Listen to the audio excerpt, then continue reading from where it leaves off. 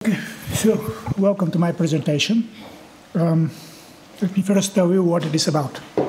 Since uh, some time, I have been trying to create a new capital theory. So far, there are two of them. That is the one of Mises and Hayek, and the other one of uh, Garrison. So, what I'm trying to present is a third one, my personal one. Uh, there are three papers written uh, the second one I presented yesterday, actually, it was about the structure of production. And this paper will be about accumulated saving, rate of interest, and rate of profit in a free market economy. Since the time is short, let's just go. First, accumulated savings. We'll start from basic. So we have an agent, an economic agent, which saves some amount of money. He takes this money and lends it to somebody else so that the other one can invest them. After this money has been invested and the investment has returned, this money is paid back to the original person. So here we see three actually separate acts. The first is an act of strict saving. So the person restricts his consumption in order to get some money. Second, he gives this money to another person for investment. This is similar to this saving, but it's not exactly the same because the person who this saves uh, does not use his own money. Later, when the investment has returned, uh, uh, the person investing it pays the money back to the original person. This again resembles saving, but it's not exactly the same because consumption is restricted in somebody else's interest. Actually, uh, there is no intention uh, to use this money in the future from the person doing it. You could say that we have three acts, as I said, strict saving, followed by, let's call it White says this saving, and then saving again. So, but if you see, the money which, is, which has been saved stays in existence. It doesn't decrease or just disappear. So the original saver, after the money has been paid back to him, is at liberty even to consume the interest of this money. But he can, he can lend it again, and he need not save it another one, uh, need not save again in order to invest. This is at a micro, a micro level, actually, but we can jump at a micro level because there are many acts like this in an economy. And if we add all these micro savings together, we could form what is called what I call an accumulated savings funds. So this is a fund of money which could be invested and reinvested. This fund exists and it doesn't need support or new money in order for investment to be possible. Um, so, this is what I meant actually in my previous articles when I explained how economic growth is possible. That is, investment could take place without net saving being uh, available. Uh, in every economy, there are people who save. For instance, people save for retirement. They put, put money in the bank. But there are other people who save. For instance, retirees drawing down their savings. And these two values could be the same and then net saving will be zero. But still, these accumulated savings funds that I'm talking about will be there and will be available for investment. So, how about depreciation? Depreciation is actually uh, a predictable cost which could always be included in the economic calculation of the firm. In the same way as I spoke about this firm, there is another part of the economy which makes sure that depreciation is being compensated. So there is a, an amount of resources in every economy which has been separated exclusively just for that part. So what I established is that every economy has a fund of accumulated savings. What I didn't say is where they hide. So there are typically three places. Uh, note that my discussion is for a free market economy with a fixed monetary supply. And I need this simplification in order to work properly. So there are three places, three main places, so to say, where these accumulated savings hide. The first is the banking system. So banks uh, just lend money at such an interest rate, and uh, they choose their clients in such a way that they don't lose money actually. So they're in the business of averaging over their clients. But the money that is there in the banking system, it stays. So it constantly flows back and forth in the economy. And this is the first place where these accumulated savings hides. The second place is the corporate bonds. So the interest on such bonds is so high as to compensate the risk of giving the loan. So this is the second place where we can find a, a, big fund of accumulated savings used explicitly for investment and a permanent one. The third and not so directly visible place is the money which is directly invested by the companies. So this does not differ much from what I discussed before. So in this case, a company lends, so to put it, uh, the money to itself. Then uh, once the investment has brought back fruits, it pays it back to itself. But note, what, the money is still available for investment after we have invested it. So we invest, the investment pays back, and we still have the money.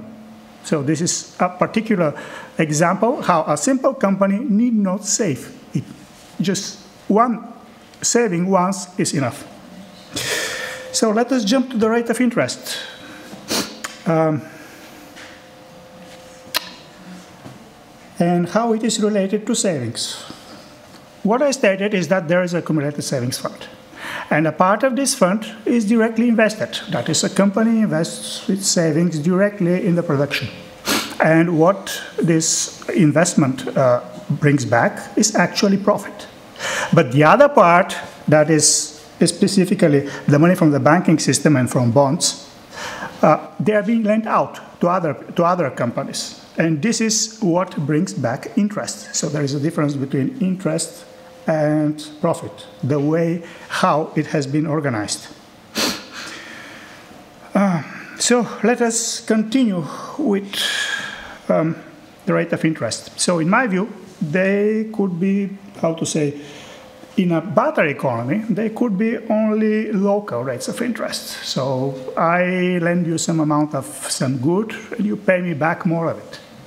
But uh, these rates of interest are separate. In order for them to interact, what we need is money, because the money is the common denominator, it's the common good which allows everything to be compared with each other. Um, fine. So, in a free market economy with a fixed monetary supply, we can see the natural rate of interest actually, because it will be there, it won't be affected. So, let's say a bank lends money Yes, there is a risk component to it, but if we average over the risk component, we'll get the value of zero. So we can observe it, or I believe in such an idealized setup, we can observe it. Fine, but what are the determinants of the rate of interest?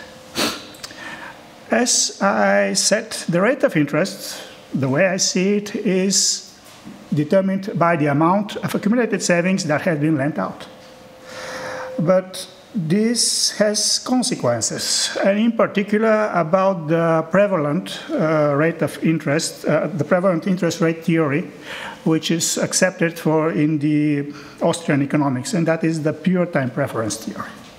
The pure time preference theory states that people, how to say, they, um, how much they save is determined by their current preferences. However, in reality, this is not so. Uh, what matters is how much has been saved, what this amount of accumulated saving is. And it is not determined by our previous preferences, but it is determined also by our previous ones. So, in a way, this is a composite parameter. You could put it that way. The pure time preference theory is a time independent theory. So, how much we save in one period is practically uh, does not depend on the previous one. In reality, the interest rate is a time-dependent parameter. That is, it depends how much we have saved in the previous uh, periods. Let us jump to the relation between the rate of interest and rate of profit. Again, we are talking about a free market economy. And now, with a fixed monetary supply, and I will discuss a simple bank. A simple bank has some equity capital and some capital, lending capital, typically from outside. So C is the equity capital, CL is the lending capital. I is the income or interest which the bank receives. Then we can define the profit rate, which is the income or interest divided by the overall capital of the bank. This is by definition. We can just rearrange this formula by just multiplying by the overall capital, dividing by the lending capital, and then dividing, uh, yep, and then rearranging it again. By definition, the interest divided by the lending capital is the interest rate. So what we get from all these formulas at the end is this one. So what does it state? It states that the rate of interest is the rate of profit plus the so-called capital ratio plus 1. The capital ratio is actually the uh, ratio of the, uh, uh, of the own capital of the bank divided by the lending capital. And it's a relatively small number, less than 1, but still it's bigger than 0. So what we get is that for this bank, the profit rate and the interest rate are not the same because the capital ratio is bigger than, uh, than 0. So basically, the rate of interest must always be higher than the rate of profit. And this is a significant conclusion because it applies not only for the, to this bank, it applies to all banks in this free market economy. So what we found actually is that the rate of interest and rate of profit are not one and the same thing. And moreover, the rate of interest is higher than that. Why is that? The reason is that we postulated implicitly that all capital in an economy must have equal returns. And this applies to the own capital of the bank. But this capital is necessary. It is the capital that allows lending. This is all the machines, people, buildings that just uh, allow for this money to be lent. So, and it is this capital that needs some rate of return, and that's what makes the interest rate higher than the profit rate. What is not clear from this formula is what depends on what. In other way, does the profit rate determine the interest rate or the other way around or I don't know. So in my view, it is the profit rate that determines the interest rate. When one is looking for, uh, how to say, uh, relation between two variables, uh, the best way to search for the cause is to see what changes first and what changes second. In this sense, the profit rate is the basic one, because in order for uh, money to be saved, and that is to be lent, and to change the interest rate, it must be saved out of profit first. So, to me personally, profit rate is the determinant of the interest rate. You can look at it from another point of view. Can we imagine an economy in which no money is lent? And could such an economy exist? Actually, yes, it could. This would mean that uh, all companies invest whatever they have saved in themselves. So some money will be invested and the economy will grow. Yes, it will be a slow, subpar growth, but growth nevertheless. Fine. So let us jump to the other significant problem. We, as I stated, in my view, the rate of profit determines the rate of interest. But then, how is the rate of profit determined? So, in a free market economy, which grows, I believe we'll have the, the growth in a stationary state. And this stationary state will be the following there will be no net saving. So that means that all profits and all salaries in that economy will be consumed. So the consumption itself will be the sum of these two. And we'll have an amount of capital. Uh, so the rate of interest, uh, the rate of profit, sorry, will be determined by, by that part of the consumption that goes to profit divided by the overall uh, capital in the economy measured at current market prices. Also to put it by the structure of the economy. And this structure has been chosen by the particular agents for whatever reason they are there. They could be saving, uh, there could have been a war which have wiped out some capital. Uh, there are many variables which affects it. But whatever it is, it is the structure that is there that determines what the rate of profit will be, from there what the rate of interest will be. So let me just conclude. What I state is that each, each an economy has a fund of accumulated savings. And it is this part of the accumulated savings that has been lent that determines the rate of interest. And the rate of interest itself is determined by the rate of profit. However, they are not one and the same thing. The rate of interest is a little bit higher than the rate of profit. And the rate of profit itself is determined by the structure of the economy, however it could have been formed. Thank you for your attention. If you have questions. Thank you very much for the sake of time. We have three minutes and 40 seconds for the questions and answers. So please, the floor is yours.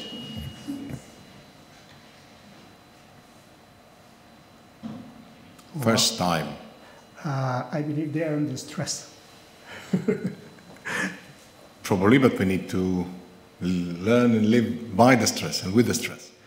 Second time, are there any questions?